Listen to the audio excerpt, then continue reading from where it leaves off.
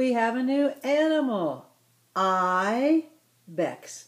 This animal is an ibex. So this I reads I, I, I. Ibex. Say ibex. This is an animal called an ibex. Look at its horns. They curl around. Does it look like a deer? May, yeah, a little bit like a deer, doesn't it? All right, let's practice saying our sounds. Ready?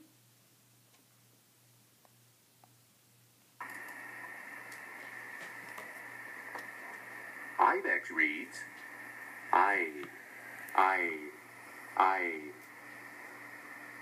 Ibex reads I, I, I.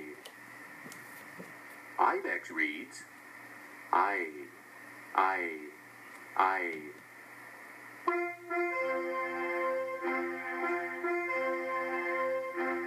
I like.